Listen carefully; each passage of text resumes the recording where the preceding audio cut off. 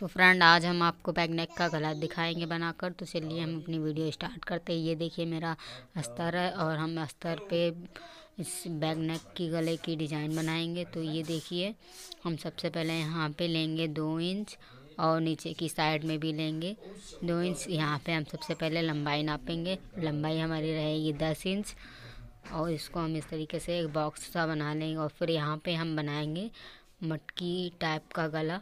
तो ये देखिए, हम यहाँ पे पहले हल्का सा चौक से बनाया था ये है हमारा कपड़ा। तो हम इस कपड़े पे और इसको अस्तर रखेंगे। अस्तर रखने के बाद में हम इसको थोड़ा अटैच कर लेंगे पिन के मदद से। तो हम यहाँ पे सारी पिन लगा देंगे और पिन से ये हमारा अस्तर और कपड़ा दोनों बराबर हो जाएँगे और बराबर होने के बाद में इसको हम पहले मशीन से, चारों तरफ़ हम इसको पहले लगा लेंगे। आप चाहें तो मशीन से या सुई धागे से भी इसको आप लगा सकते हैं। अगर आपके पास पिन ना हो तो इस तरीके से हम दोनों साइड पे गला छाप लेंगे और ये देखिए हमारा मटकी वाला गला बन जाएगा। तो हम इस पर फिर डिज़ाइन बनाएँगे। तो अब हम इसको बाहर की साइड पे थोड़ी सी मशीन चला देंगे।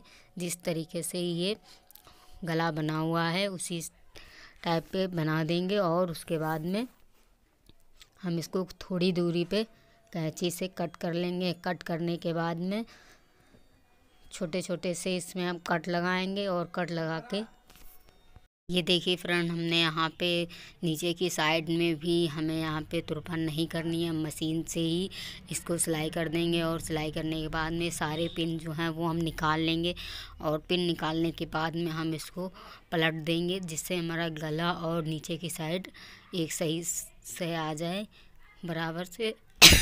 यहाँ पे हम छोटे छोटे से कट लगाएँगे और कट लगाने के बाद में हमारे गले की जो डिज़ाइन है, वो बहुत अच्छे तरीके से बनकर तैयार होगी। अब यहाँ पे हमने जो नीचे साइड में भी मशीन चलाई थी तो इस तरीके से हम इसको फ़ोल्ड कर लेंगे। और फोल्ड करने के बाद में हम यहाँ पे गले पे भी एक मशीन चलाएँगे, जिससे हमारा जो कपड़ा है, गला बना हुआ बिल्कुल एकदम फिट हो जाए।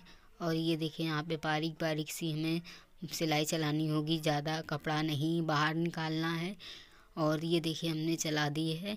पूरे गले में हमें यहाँ पे सिलाई चलानी होगी और सिलाई चलाने के बाद में ये देखिए हमने सिलाई चला दी है।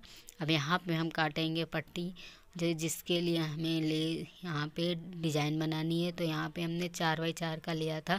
आप चाहें तो कम भी कर सकते हैं, अपने अकॉर्डिंग जितनी चौड़ी या पतली पट्टियाँ रखना चाहें, उस हिसाब से आप ले सकते हैं। तो यहाँ पे अब हम जिस तरीके से डोरिंग बनाते हैं, उस तरीके से इसे फ़ोल्ड कर लेंगे और फोल्ड करने के बाद में हम इसे सुई या किसी लंबी लकड़ी की मदद से इसको पलट भी लेंगे।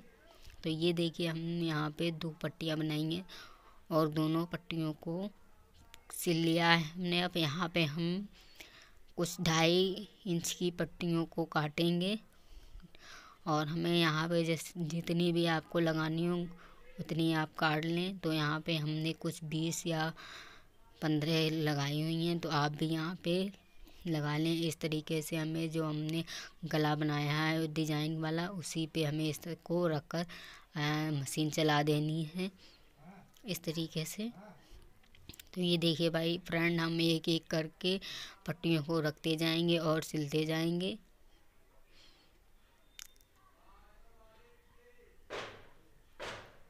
और ये देखिए हमने फ्रंट अच्छी तरीके से यहाँ पे लगा ली हैं। अब हम इनको फोल्ड करेंगे और फोल्ड करने के बाद में थोड़ी सी इनको ढिलाई देते हुए यहाँ पे हम इस पर भी मशीन चला देंगे। तो ये देखिए फ्रेंड, हम यहाँ पे आपको जल्दी जल्दी बनाकर दिखाएँगे और जिससे हमारी वीडियो बड़ी ना हो। तो ये देखिए फ्रेंड, हमने यहाँ पे बनाकर तैयार कर लिया है और अब यहाँ पे हम डिज़ाइन बनाएँगे। तो डिज़ाइन के लिए हम यहाँ पे सबसे पहले मोती लेंगे और इसको हम इस तरीके से मोती और डिज़ाइन जो हमने पट्टियाँ लगाई हैं, उन पे इस तरीके से डिज़ाइन बनाएँगे और वहाँ पे मोती भी साथ में लगाते जाएँगे। अब ये देखिए, हम यहाँ पे साइड में जो हमारा कपड़ा दिख रहा है, उस पर हम लेस भी लगाएँगे दोनों साइड में। तो हम यहाँ पे दोनों साइड में लेस लगा देंगे और लेस लगाने के बाद में हमारा ब्लाउज की जो डिज़ाइन है वो कंप्लीट हो जाएगी। अगर फ्रेंड ये वीडियो हमारी आपको अच्छी लगी हो तो इसे लाइक करें, शेयर करें और कमेंट बॉक्स में